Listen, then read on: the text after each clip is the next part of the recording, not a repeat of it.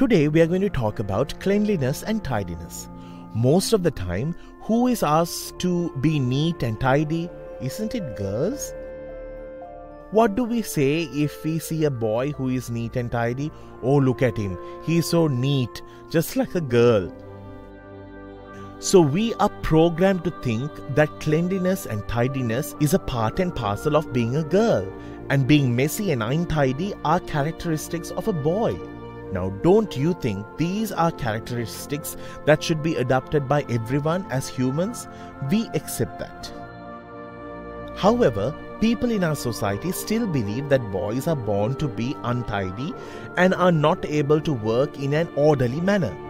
That a house needs a woman to manage and keep it in order. Look at this boy's room for an example. It is very untidy.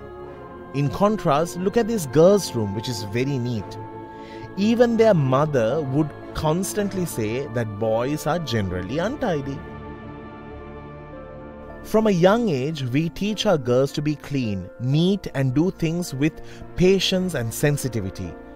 But we don't give this teaching to our young boys. Then we should say men should also be concerned about cleanliness, tidiness, and their health.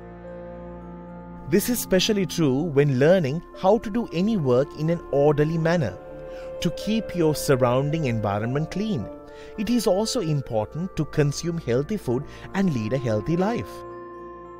We must also understand that being clean, neat and tidy or doing things in an orderly manner it's not subject to whether you are a girl or a boy. These are things important to lead a good life. Also, we have seen many who consume junk food on the side of the road on their way home from work, become obese, and struggle with illnesses such as diabetes, high cholesterol levels. In order to avoid this, we must all take steps to lead a healthy life by being mindful of our health and well being.